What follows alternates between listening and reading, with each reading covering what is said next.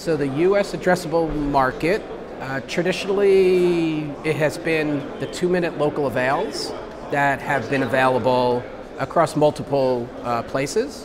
What's new is back in June, Comcast announced the On Addressability Initiative, which essentially said that now national sellers would have access to national inventory to be sold on an addressable basis which is the, the, the huge milestone. Right? We've, we've never really been there in the industry. Uh, so that was good news. And then in September, Canoe was asked to be the technical implementation arm for that to happen. Uh, so that's exciting for us. Congratulations. Yeah, thank you. Um, a, a, lot of work ahead, uh, but now the work is on a technical level to make sure that we can deliver on the promise of one addressable campaign for a national seller that can run across Comcast, Cox, and Charter in over 38 million homes. So if we take that as a moment in time and we sort of look forward to 2020, tell me what 2020 looks like for you guys.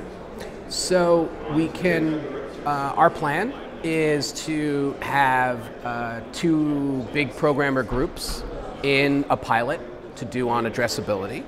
Um, we want a, a few different technologies to test and run through the system. So for instance, look for one programmer that's utilizing a freewheel stack. Look for one programmer that's utilizing a Google Ad Manager stack, right? So approach this from a multiple technology uh, point of view, uh, and then have those uh, uh programmers work with uh, a limited number of brands and get them into the fold and then uh, have that play out on linear, on VOD, with an addressable target, run that all through the system, have the reporting come back, have the measurement come back. Yep.